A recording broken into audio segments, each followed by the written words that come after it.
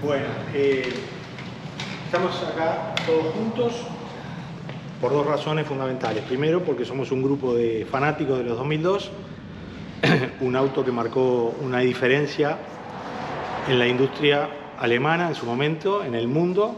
El auto cuando, cuando vio la luz, enseguida en los años 68, 69 y 70, arrasó con cuanto premio había en el mundo, especialmente en Europa, en las categorías de eh, pista, trepada de montaña, rally. Hizo una diferencia brutal con los demás. Fue el primer auto eh, familiar, entre comillas, deportivo que se fabricó. Después se fue evolucionando, fue aumentando su, potencia este, en versiones con inyección, con turbo y finalmente ese motor terminó siendo, ganando el Campeonato Mundial de Fórmula 1 después que le trajeron más de mil caballos. Ese auto fue un icono en el mundo y también fue en el Uruguay. En el Uruguay llegó de la mano de, de un emprendedor, del gallego Arijón. Fue la única vez que la fábrica permitió que se armaran y se comercializaran coches por un tercero fuera de Alemania. Y en la parte deportiva también fue un antes y un después del 2002. Todos nosotros esa historia la conocemos, por algo tenemos estos autos y nos gusta tenerlos. En ese contexto, ver esta, esta realización, este lugar, esta colección, más que una colección, para mí es un museo, una colección, cuando se encuentra con un lugar físico como este, pasa a ser un museo, de la mano de una persona como Alejandro. No tuve el gusto de ser amigo, pero sí de recibirlo varias veces en mi casa. Alejandro estuvo desde el principio con los 2002 en la organización del evento que se hizo en el año 2002 junto con el gallego, en que pude participar por suerte. Fue uno de los alma mate y la organización se la cargó en los hombros. Y después, en el año 2018, que cuando digo que fue varias veces a mi casa, organizamos la juntada del año 2018 para festejar los 50 años del auto, que también muchos de ustedes fueron con sus coches.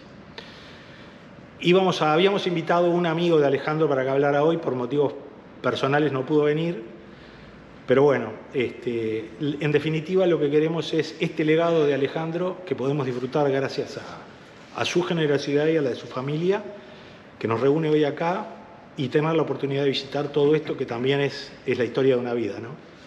De, de, dedicarse con amor a juntar algo, sus autos, sus experiencias y que puedan servir para, para todos nosotros. Nosotros tenemos eh, este grupo de, de amigos que, que, hacemos reuniones, eventos. Esta es la primera reunión que hacemos este año, el año pasado hicimos tres. Y, este, y bueno, esperamos, somos más de 60 propietarios, es difícil juntarlos a todos por distintos motivos, hasta inclusive por problemas de los propios autos. Pero bueno, siempre es lindo juntarnos con los amigos y, y en, en, ese, en ese contexto hemos hecho en agradecimiento una placa para dejarle a la colección para que ustedes lo tengan, para su familia y agradecerles especialmente la posibilidad de haber, eh, habernos reunido hoy aquí. Nada más.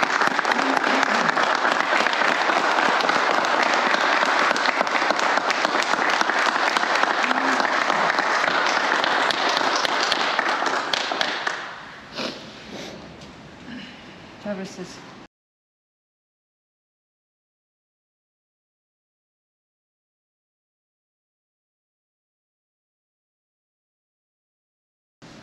Bueno, este, decirles que las puertas de, este lugar están abiertas para ustedes cuando quieran, me avisa y se pueden reunir aquí cuantas veces quieran eh, y a visitarlos para la gente que no, que no pudo venir.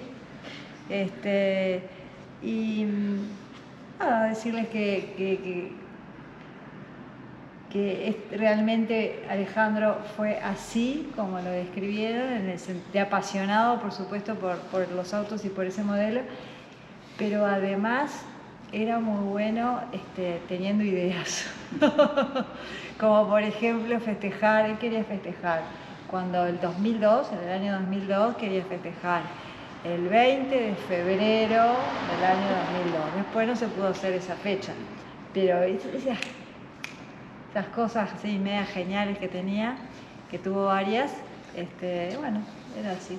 Este, bueno, así lo recordaremos. ¿Mm? Bueno, gracias.